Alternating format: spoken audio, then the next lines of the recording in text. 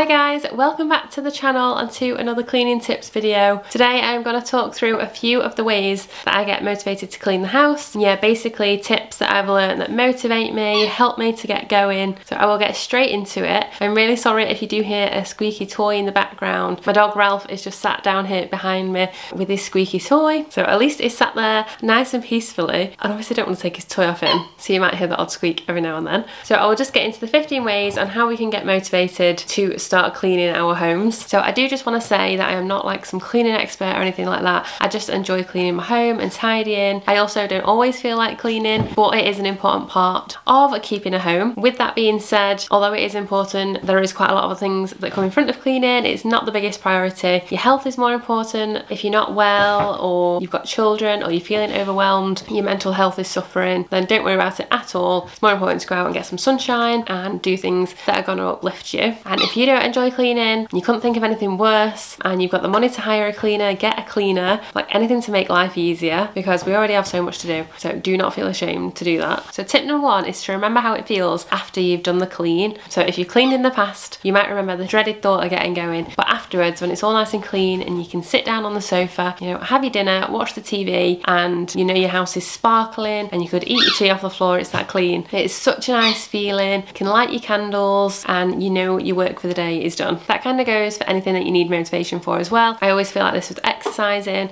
It's never something I like jump out of bed to do, but after I've done it, I always feel so much better for it. And you have to remember how that feels because you can't always count on motivation to do things. Of course, he wasn't going to sit still for this video, was he?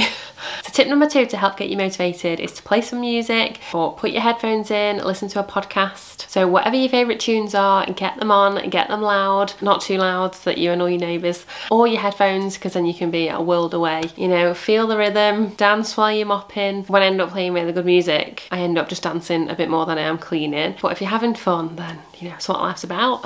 Anyway, but yeah, podcasts exercising, don't know how exercising's come into a lot of this cleaning video, and cleaning is a great time to listen to podcasts, listen to new music. So take advantage of it. If you feel like it's a really mundane task, think to yourself, how can I make this more exciting? And usually for me that is music or listening to an inspirational podcast or just a podcast that's really funny. So yeah, great ways to get you going. Tip number three is to put a cleaning video on YouTube on the TV whilst you're cleaning. So it's kind of like you're cleaning together. So whoever your favourite YouTubers are, a lot of mine are like home, lifestyle, cleaning sort of content and often I'll be sat on the sofa and I might put a YouTube video on the TV and as soon as I see somebody else cleaning the house, organising, it just makes me want to do it straight away. So if you can have that on in the background, you know, whilst you're cleaning your living room or your space, you kind of feel like you're doing it with somebody and that can be motivating. And tip number four is basically to visit Mrs. Hinch's Instagram page. So I've followed Mrs. Hinch on Instagram for years now. I love watching her stories. It was probably a few years ago when I lived at home from watching her Instagram stories that I learned a few tips and tricks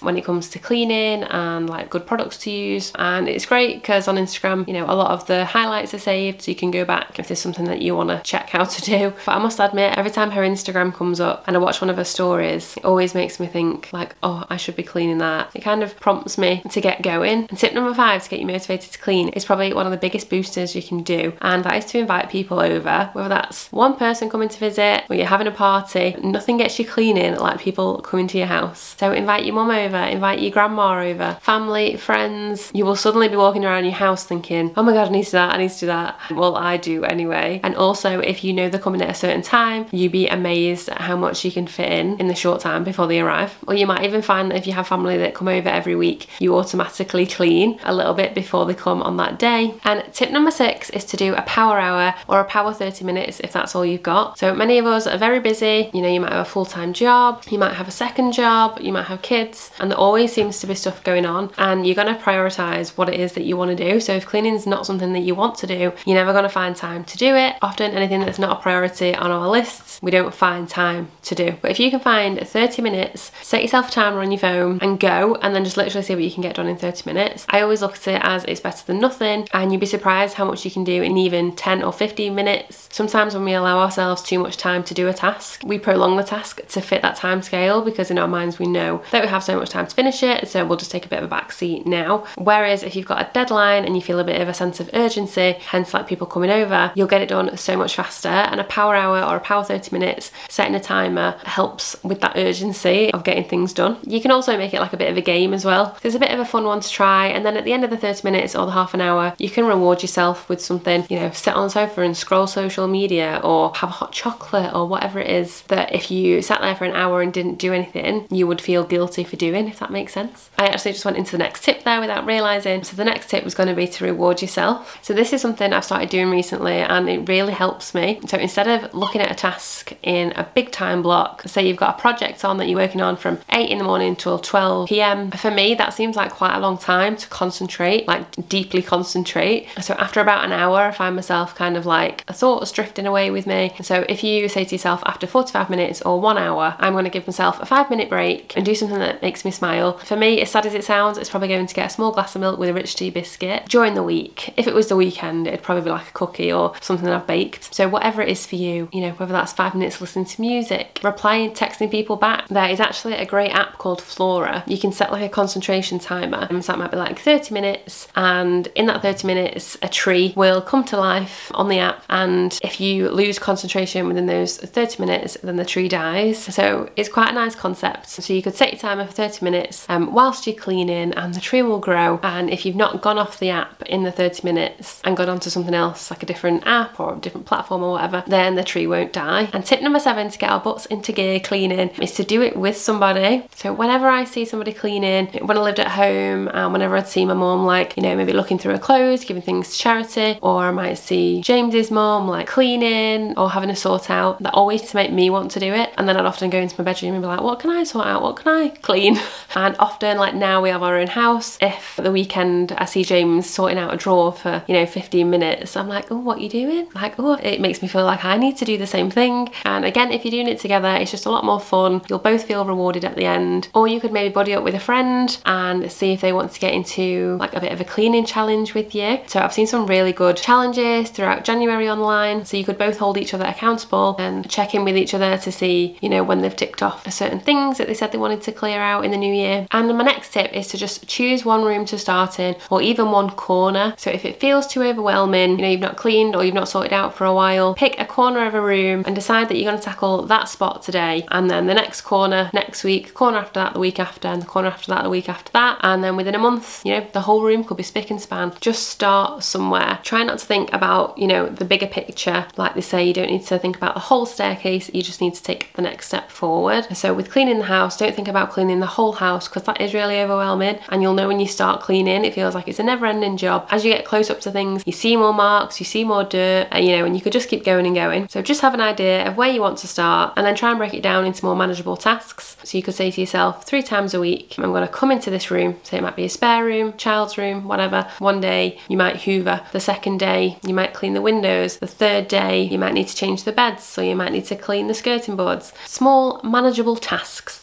are much more attainable. So the next tip, kind of similar to setting aside a corner of a room or a room to start on. This tip is to set aside a small amount of time each week. So I have a daily, a weekly and a monthly planner. So I know where I have spare time throughout the week, you know, and I know on a Sunday, I've got a lot more spare time slots than other days of the week. So could you use, you know, one of those hours or even half an hour, you know, just to spend cleaning to get started. Maybe use that 30 minutes or an hour to tackle the bathroom, somewhere where there's a lot of traffic, which generally the kitchen and the bathrooms, you know, something that that's used a lot that will need a clean. But although we see lots of these spreadsheets and like templates online that tell us we need to complete this many tasks in a day, this many tasks a week, this many cleaning tasks a month, spring cleaning, you know, if you're nowhere near that, sometimes that can feel so overwhelming. So make your own, make a note of what's important to you to get cleaned first, and whatever spare time you have out of your week, start there. Tip number 11 is one that I love and I actually use quite a lot since I heard about it a while ago, and that is to change your mindset from, oh, I have to do this to I get to do this. So instead of thinking, oh, I need to clean the bathroom and the toilet, I like to think, how lucky am I that I have a bathroom to clean? I do this with all sorts of things in life, food shopping, the things we do every week or tasks that we feel like, you know, are sort of a compulsory part of life can become mundane. They can feel like you're doing the same thing over and over again, a bit like Groundhog Day. But being grateful helps change your mindset so much. So just changing those words from have to to get to, make a massive difference to me. You know, even like, oh, I have to go running tonight. Well, you don't have to do anything really, but you know, some of the cleaning products now is like, what a time to be alive. So maybe give it a go next time and see if it helps you feel any better. I try and think I'm so grateful for the house and I'm so lucky that I have a roof over my head and house to clean. That still doesn't mean that some days are a struggle to get going because naturally they are, but it does seem to help me a little bit. And tip number 12 is to take a visit to B&M or Home Bargains and buy yourself some new cleaning products. Because when I buy new cleaning products, I want to use them straight away. There's something so exciting about it. Bringing new cloths home, new minkies home, especially if I haven't tried it before and I might need to read some instructions, then I'm even more eager to try it. You know, you see all sorts of viral products on the internet these days. I try and not buy excessive amounts of cleaning products. I try and use up everything that I've got first before buying more. But there's so many new things to try. Then if like, for example, if your carpets need a bit of a clean, buy some carpet freshener. They smell so nice. Try out a carpet cleaner. You know, you can buy carpet scrapers to get off all the bits up. So it's very satisfying. And if you do find a new product that's worth using, share it. Share it with your friends and family and online because it's so helpful when you find new products that do an amazing job. Number 13 is to make your house smell amazing. The smells make me want to clean. I feel like I talk about this a lot, but like Zofloras, there's quite a few. You can buy Dettol ones. There's so many sprays these days. You can make your house smell however you want it to smell. That could even be a reward for you. You could even think if I do 30 minutes of cleaning now, I'm going to go and buy myself a nice candle and I'm going to light that light through my nice clean home. Tip number 14 is to work through like a downloadable or printable sheet slash guide you can get. There's so many out there online. Mrs. Hinch is doing a January one at the moment and when you're watching people also complete them online, it is very motivating and if you don't know where to start, if somebody's already made like a template for you, it's a really good guide. So I'd highly recommend those and it just makes it a bit more fun when you feel like it's a bit of a challenge and when somebody else has wrote it out for you. And number 15 is to make lists and tick them off once completed. So you could buy really nice notepad. There's so many. Home Sense have some gorgeous notepads if you prefer, you know, like a book style or a tear off style. Get all the thoughts out of your brain, everything that needs cleaning and organising, get it onto paper, make the lists and tackle it. You could even say I'm going to give myself three to four months, the first quarter of the year, and then you can review it in March or April, say, to see how much you've got done. Set yourself a task every week or every two weeks. You know, get yourself some nice pens and tick them off once you've done them, and you will feel like Superwoman and all organised. So they are my 15 tips for helping you get motivated to clean, to get up and get started. If you did like the video, I would love it if you could give it a big like and subscribe to the channel if you like cleaning content and organising because there'll be lots more videos like this. Thank you so much for watching. I am trying to upload a few more videos in January, probably on Mondays and Thursdays. So yeah, I hope you stick around and I'll see you soon. Thanks guys, bye!